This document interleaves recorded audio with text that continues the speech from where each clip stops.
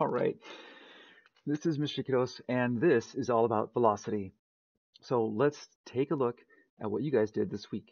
You guys had two cars, a red buggy and a blue buggy, and they were going different directions, but in a straight line along this number line. So let's take a look at what that looks like simplified. So there's a number line, there's our zero, kind of match it up there. And each of these marks represents 10 centimeters. So there's negative 20 because it's to the left of the zero, and there's positive 20. It's to the right of the zero. Okay, so we can replace uh, these buggies with little boxes and little arrows to indicate which way they're going. And we have them at the starting position. So this is at zero seconds, zero frames. Uh, that gives us exactly 0.00 seconds. And they are facing each other and they're at these various locations here. We play the video and we end up with them going a certain amount of distance and the total time uh, it took was 4.3 seconds or 4 seconds and 9 frames which comes out to that 4.3. So what your first task was to do was kind of take a look at that and give a written description. So you could say something like, the red car started at 60 centimeters and moved to the left at a constant pace, ending up at negative 96 centimeters after 4.30 seconds. And the blue car started at 55 centimeters on the negative side and moved to the right at a constant pace, ending up at 27 centimeters after 4.30 seconds. Some of you decided that it would be really cool to basically put bars that represent the distance traveled of each car. And this one would be how far that traveled, 82, and the other one would be 156. And that's cool. This bar graph does tell us the total distance covered for each car in the same elapsed time. That's great. The red car went 156 centimeters compared to the blue car that went 82. But what it doesn't tell us is if we were to come back and look at this later, we don't know where they started or ended. We have an ending and a beginning, but we don't know did it go from left to right, right to left. We'd have to look back at the written description and this graph to be able to do that. We need a graph that could tell us all those things. So some of you came up with a different kind of graph. And for us to see this, we're going to take this uh, number line and put it on its side. All right, and we're going to call this position. That means this is the place where each of these things were at some point. Then we're going to stack a bunch of those to the right. But in order to do that, we're just going to give it a time axis, also known as clock reading. Okay. Now let's say, let's split those up. Let's put the zero time at the beginning and the final time at where it belongs on the timeline there. So you can kind of see this number line just keeps repeating up and down, up and down, up and down over here. And this number line's over here as well, but the difference is that it's 4.30 seconds after we started. All right, well, let's say we go through and kind of go through even steps of time. So I went every 43 frames and I plotted out where that would be. So here's where the blue car was and where the red car was after 43 frames. And then another 43 frames. And finally we have our ending there, right? So why 43? Well, the total frames were 129. I divided that up. Okay, so take a look at this. If I were to connect the fronts of the red cars and the fronts of the blue cars here in time, they plot out this line in position and time. This graph is a line graph, and it's really a scatter plot with some trend lines because you could have measured some dots above and below, and this kind of gives you the general idea of how fast and how far they are going and which way. So this car, this graph can tell us where each car is at any time. It tells us the total distance covered by each, and it also gives us the direction of travel. Does this mean it could give us the speed as well? Well, let's find out what speed is first. Speed is the time rate of change of distance. The one that we are more familiar with, though, is probably average speed, which is the total distance divided by how much time it took, or elapsed time. What's the big difference? Well, speed is the pace you are going at that moment, and average speed is the pace you would go if you were at a constant pace the entire time for that distance. Let's look at an example, average speed versus speed.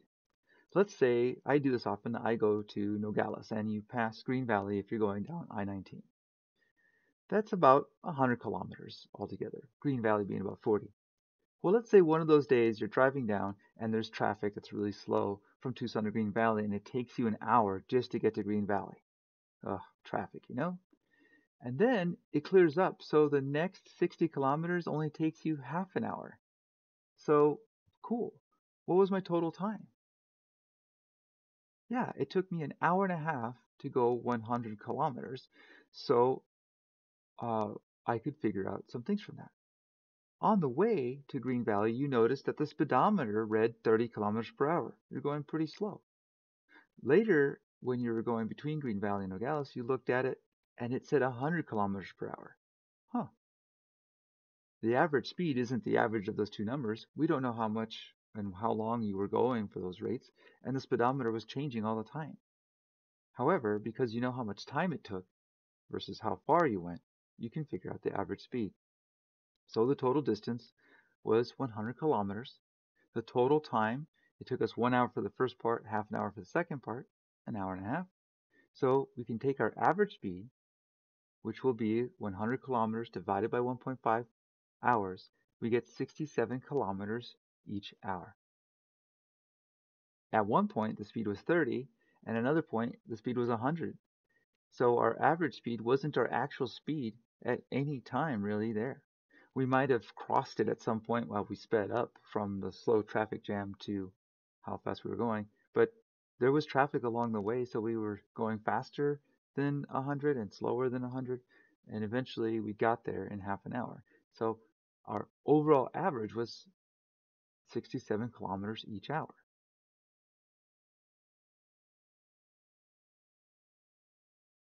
So when is the average speed equal to the actual speed? Well, only if the speed is constant the entire time, like our cars. Okay, so let's take a look at this graph again. How far did each car go? Let's look at the beginning and end points. That's what are circled here. Well, the blue car started at negative 55 centimeters and ended at 27 centimeters. Well, 55 centimeters to zero, and then another 27, that comes out to 82 centimeters. Cool. The red car started at 60 and ended at negative 96. So we went from 60 centimeters to get to zero, and then another 96 to get to uh, the other side, right? And so that's a total of 156 centimeters. Well, how fast did it go? Okay, well, the blue car went 82 centimeters in 4.3 seconds. We can do that division. Average speed is distance divided by time, and we end up with 19 centimeters per second. The red car is 156 centimeters in 4.3 seconds. Its average speed is going to end up being 36 centimeters per second.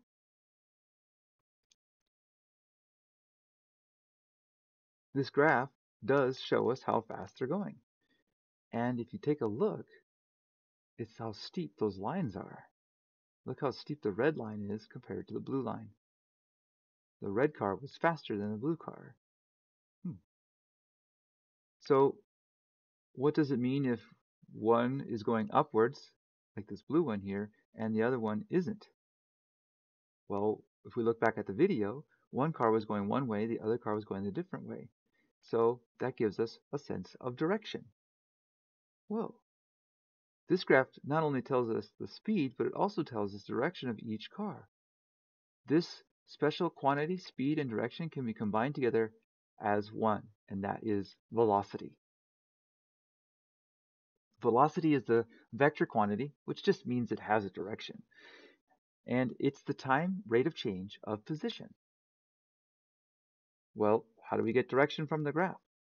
Well, we always subtract the end position and the start position. So start from the end. We always take end minus start to get our things. If we look at the last time minus the initial time, we always end up with a positive time change, 4.3 seconds. So here are some definitions. Position is kind of like the place where an object is at. It's over there. It's over here. It's on a number line. Clock reading is literally that. It's you looked at what time it was at a given moment. And changes are always subtracted the ending minus the starting. So displacement is the change in position of an object. It's the end position minus the start position. And elapsed time is just how much time it took between clock readings. So, oh, it was 4.3 now, that's the end, and it was 0 before, so 4.3 minus 0, 4.3 seconds. So we already found the distance. What about the displacement of both cars? What's the difference? So if we look at the blue car, starting at negative 55 centimeters and ending at 27 centimeters, the displacement is end position minus start position. We plug those numbers in. Notice that we have to be careful with sign here, and we end up with a positive 82 centimeters, which means the car ended up 82 centimeters to the right of where it started, since to the right was our positive. Let's look at the red car. The red car started at 60 centimeters and then ended up at negative 96 centimeters. Again, displacement is end position minus start position. We subtract those two numbers, paying very careful attention to the sign, and we end up with a negative 156 centimeters. What does that mean? It means that the red car ended up 156 centimeters to the left of where it started. What about average velocity of each car?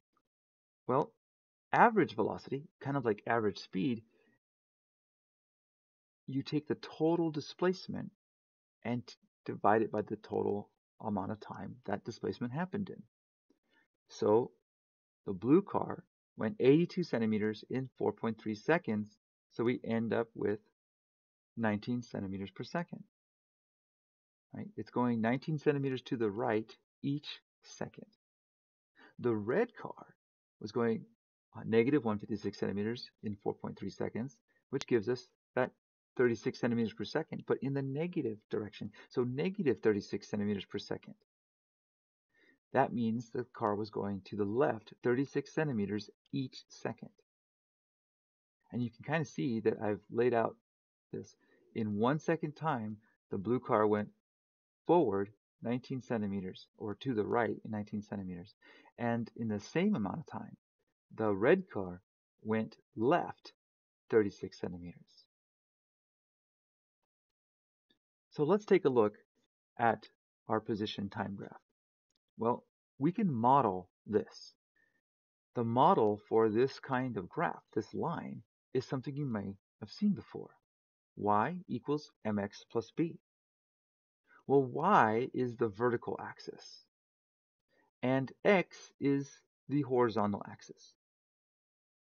The b, also known as the y-intercept, well, that's just the value when x is 0. And m, well, that's the slope of the line.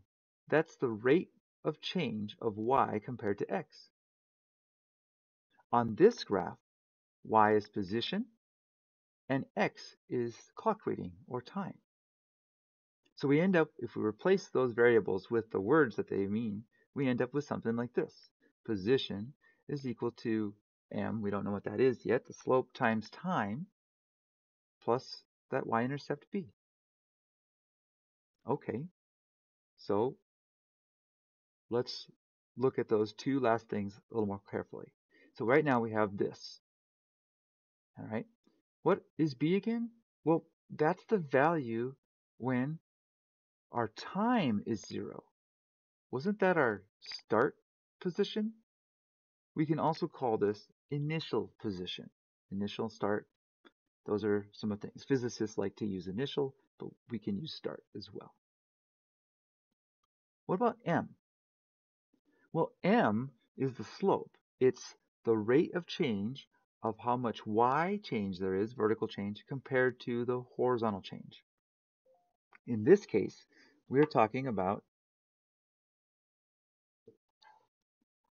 the change in position over the elapsed time. This looks very familiar. This is displacement divided by elapsed time. That's average velocity. Sweet. We now have a complete model for something that is moving at a constant pace. We'll create a straight line on a position time graph. And the model for that will be this. Position is equal to average velocity times time plus that initial position. We can use this to figure out the position of something at any time if we know how fast it's going and which direction it's going each second on average, and if we know where it started. Thanks. I hope you enjoyed that.